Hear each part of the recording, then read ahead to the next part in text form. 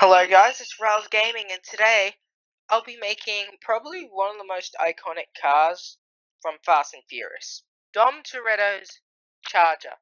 Yeah? Alright, so with Dom Toretto's Charger, I've already got in the black, I've put the V8 in there. Wait, where the hell is it? It'll appear later. Um, now I've got some of the mini parts done. So let's start with the front.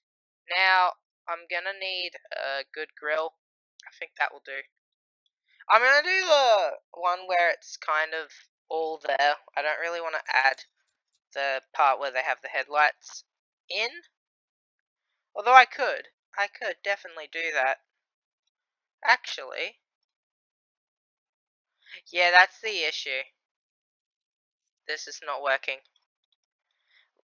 That does not look right. I'd rather have I have a model out right now, just have a look at it. We'll go like that, and I'm going to thin it down a little. There, that looks alright for now. Indicators, let's go do that. Alright, we'll do that. Um, that's all indicators, so that should be fine. And there's something at the bottom. I think one of these. Yeah, I'm looking at a uh, model right now, just to get some idea. That needs to be a little bit more down. That's a little bit higher. That looks alright for now. Alright, let's um do some other little stuff. Such as um wipers, we'll do them. Alright, we're done wipers. I want to just quickly turn that to opaque. And I'm gonna have to keep looking at what else we can do for the car. I'm trying to find the front hood. That could work. I'm just so confused why I had this even in here. Oh, well. I've done wheels already. I'm just trying to find if I um can get the uh, top part. I forgot the name already. Oh, well. Now, door handles are pretty simple on the model I have, so it's just that. So we'll do them. And we have the fuel cap at the back. I'm going to shrink that down a little. It's like there. We'll place it there for now. That should uh, look accurate enough. Gonna try something. Boom. Now I know alternators aren't gonna be it. Oh, this is uh hard. Please don't lag. There you go. Unless I shrink that down, turn it 3D, make it move up. And then we're gonna, this is not gonna, this is DIY stuff you're seeing here. You know what, that kind of works. Can we just make that all metal, chrome? Not even that, we'll go steel. Like I have here. That's working, so this is uh pretty good. That's exactly what I need. Yep, I found it. Give it a little shrink. This is a weird way of doing it, but... Bam, steel. Uh, I'm gonna mirror that. Gonna pop that out a little. I'm gonna grab another one. I, I that's actually working out pretty good. And to be honest, I didn't think it would. No, I don't like that one. Voila. I'm just gonna not do what I just did. This might be the hardest project I've done. I'm working on this, alright? How hard is it? I just need a scoopy thingy. Scoopy thing, that's exactly all I know. Oh, this might work. Now we'll go scale. I think that looks sick. Just doesn't have the front beef.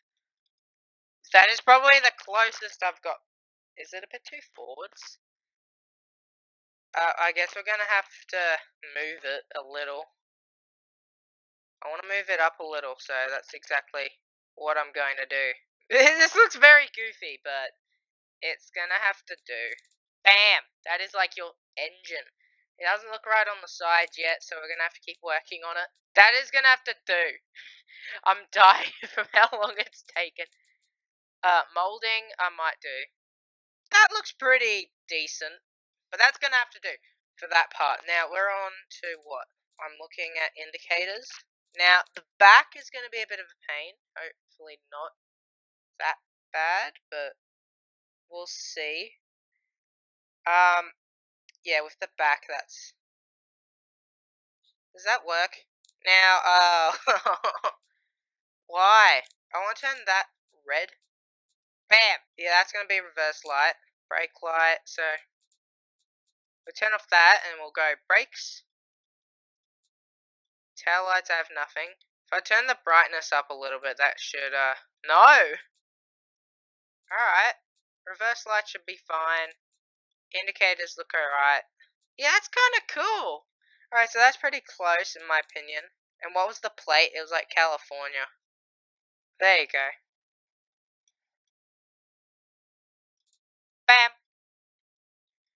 Alright, now, uh, what else am I doing? Lighty bulb. Or whatever you call it. Reflector. That is what it is. Scale, we'll just shrink that down a little. Alrighty, so that's looking pretty accurate to the point that I have. But let's say I want to add a little bit more detail. Now, it won't be exactly accurate, but it's got that little car bit, so I might turn that as tail light just for a little bit of um, detail. And that's supposed to be the color of the car. Now, that doesn't look exactly right. And if I go nothing, you've just got holes of nothing. I'm going to have to make it slightly smaller, slightly thinner. That hopefully will look accurate-ish. Now, exhaust-wise, I need these. Mirror those. Oh, it's a bit more out, though. I'm going to have to 3D them again. There! Ta-da! No, do not turn them. They're more in place. So, there. I think that looks pretty good. Now, I will have to export it into BeamNG. I'm going to test a little bit of stuff. If I can do the most impossible thing, and probably most inaccurate carving to do, is that weird wheelie that thing. I want to add the dodge badge, but that's not going to be able to happen. So, uh, I'll do all this stuff, and I'll be back in BeamNG.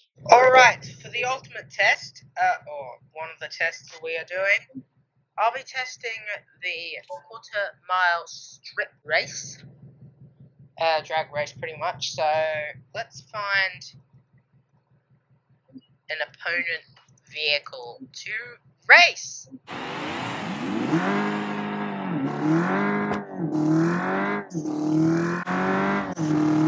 I really don't. Thing is that that thing was made for drag. I want to see how far we can go. See, So I think I'm away, like we haven't already, and see you later.